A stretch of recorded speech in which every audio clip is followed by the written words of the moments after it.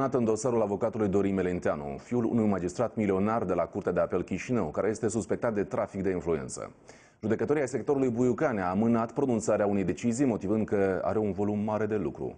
Dorin Melenteanu, în vârstă de 33 de ani, a fost reținut în luna octombrie anului trecut de către Centrul Național Anticorupție, după ce acesta i-ar fi cerut unui client suma de 800 de euro sub pretextul că avea influență asupra unor judecători de la Curtea de Apel, acolo unde tatăl său este magistrat în colegiul penal.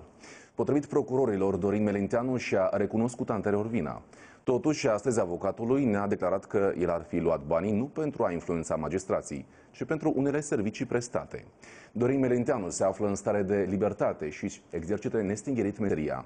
Riscă o amendă de 24.000 de lei și ar putea să piardă dreptul de a presta servicii de avocatură pentru o perioadă de până la 3 ani.